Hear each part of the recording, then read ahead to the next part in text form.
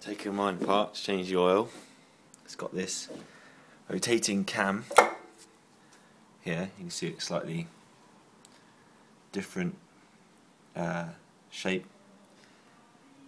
So horizontal cam on the uh, cam on the engine shaft spins around and round eccentrically, and it hits these pistons here on the pump. This is the other half of it. I've connected this one to water so you can get a good idea.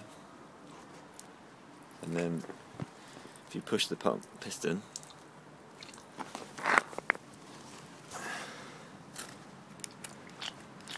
sucks it in water. You can tell if it's spinning around, hitting all those three all at once, creates loads of pressure.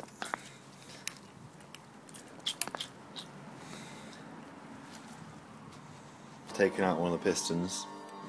Take apart this as well, but inside there's a load of uh, one-way valves.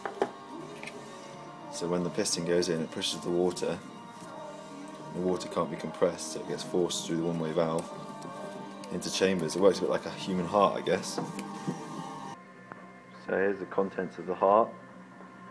It's got these one-way valves. There's another one that was on this one.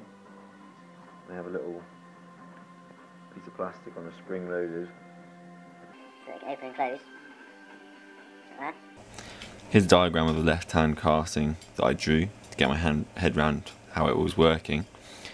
Um, the flow is in blue, it comes in through this inlet pipe from the hose. It goes into these series of three uh, channels before the one way valves, and then each of these pistons, which are slightly out of phase of each other, are sucking that water through the one-way valve into the chamber here on the other side of the casting.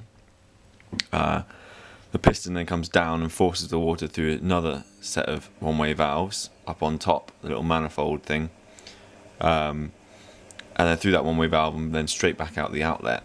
So, and for a while it took me took me a while to figure out why there were sort of three chambers. I thought it was going through the whole thing, but no, it's just because that'll give you a more consistent pressure um, and maximize each revolution of the engine. So you've got three pistons.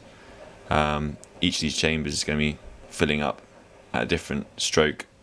Um, so the pressure is not just squirting well once every revolution, it's three times. Part of the reason I took the thing apart in the first place um, is because it was dripping down out of here. It turns out that's a normal feature. So the piston chambers um, at the top of the collar, um, top of the uh, pull stroke, so bottom dead center, um, there's actually a little gap so that the water can escape. You don't end up with a water lock because um, the piston, I mean, sorry, the water obviously can't be compressed.